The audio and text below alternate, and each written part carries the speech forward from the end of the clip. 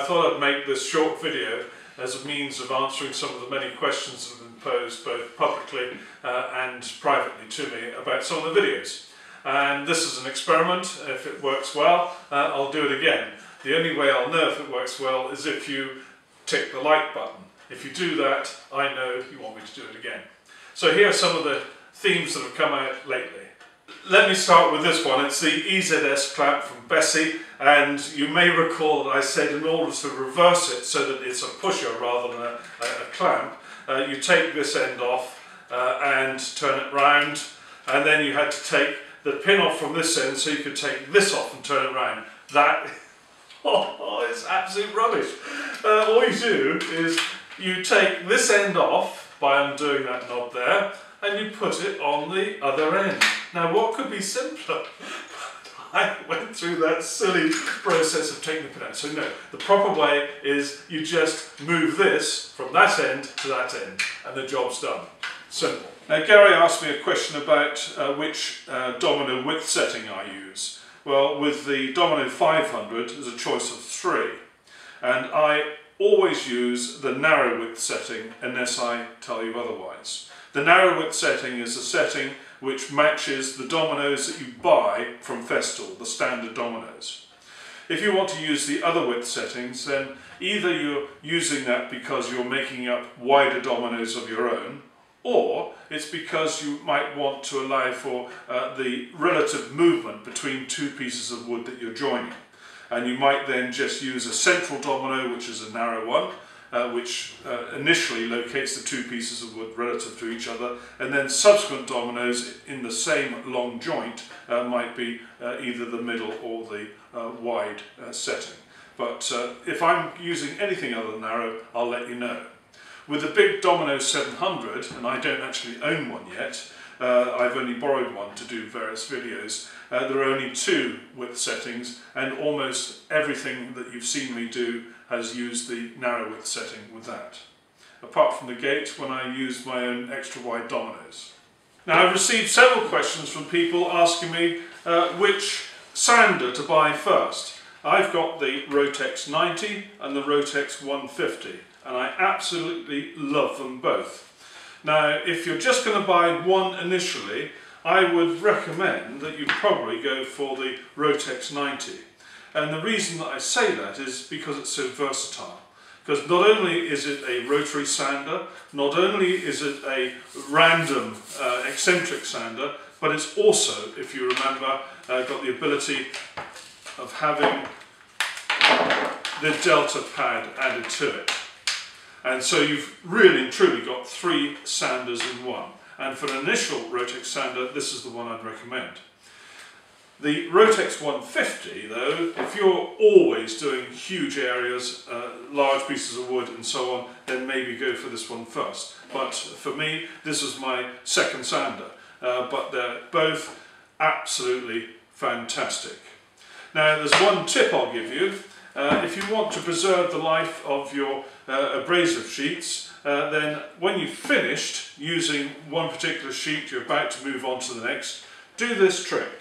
Take the brush which fixes on the end of your hose, turn your extractor on,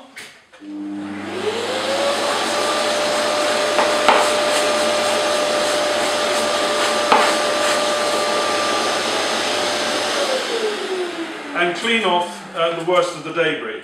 And the reason for doing this is that uh, if you leave all that dust there, slowly but surely it will adhere uh, to the sanding sheet and then it'll build up and then it'll become a nuisance and you'll eventually have to throw the sheet away. Now I've been asked several questions about my unsung hero, the CTL26 extractor which I have here and I've had this since the very beginning of my Festool days and it's absolutely brilliant.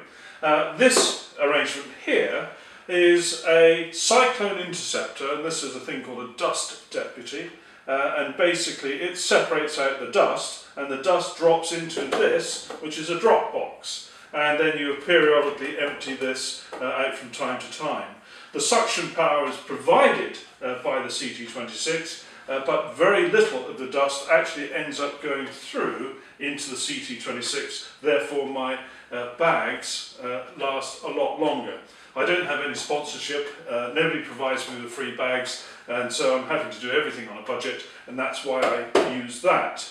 Another question came in about my cables, how I keep them tidy. Well, it's dead simple. I just wrap them up like this by hand. I have a loop of string, it goes through there, back through there, and I have a little hook, and that's nice and tidy. I've also been asked about this, and it's the second socket which I've uh, fitted. Uh, I bought it from a Festool supplier, and then I fitted it myself, and I find that really useful. I keep the Kapex normally plugged in uh, all the time and then I've got my uh, uh, plug-it cord here uh, for the various other tools that might be used. So I find that quite useful. Um, the part number may vary according to a country, I don't know, so I'm not going to display that now. You'll need to research that or ask your local dealer. And the next question came from Stefan in Germany. Guten Tag, Stefan. Uh? Uh, here is my PSC 420 and his question uh, related to the movement of the blade. I'm just going to remove the battery so that it's safe. I'm going to move the base as well so you can see the blade more clearly. And his question was, should there be some movement like this? And the answer is yes. Uh, that is very much uh, the feature of the Festool Carvex system in that you've got this pendulum motion. The control is set here, but it does allow the blade to move like so. The key thing with the Carvex is to make sure you get this adjustment here uh, for the tension on the blade absolutely right. And the way to do that is to pull back on the blade with your finger, like so, tighten this up until it just catches the blade, like so, and then back off by half a turn. And then that's perfectly set up. Ready to use. And here's a tip so you don't lose the, the little, little hex tool that you use to adjust the blade. Uh, I've put some string around it so that if it falls on the floor you can find it easily. But also, I've put a pair of magnets here, and uh, basically that holds it in place in the Systainer when, uh, when it's in there, and so you always know where to find it.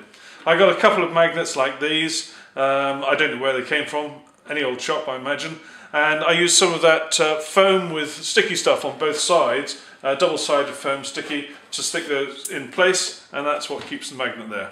Excellent. You won't lose that little tool again. And the last woodwork one was about the Gothic bench. Someone asked me if it was my design. Yes, it is, and please feel free uh, to copy it. I'd be absolutely delighted. I'd be flattered if you were to copy the design. I'm very grateful for all the encouragement and kind comments after I dipped my toe in the technology side of things when I did the Wacom Intuos 5 graphics tablets. I did the medium and the small. I've actually bought the medium myself and I use it all the time. I use it with Adobe Premiere Elements, which I use for my video editing, and I also use it with Adobe CS5, which I use for my photographic work.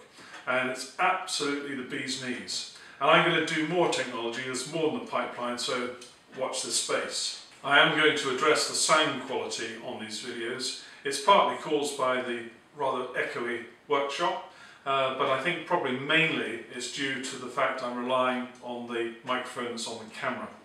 And so I'm hoping to get hold of a wireless microphone system. I'm sure once I do that, sound quality will improve. If you've got a piece of woodworking kit or some bit of technology that you'd like to see me demonstrate or review, then do contact me via the YouTube messaging service. But please bear in mind that I only produce videos of items that I'm happy to recommend to my very best friends. Thank you very much for watching this first question and answer session.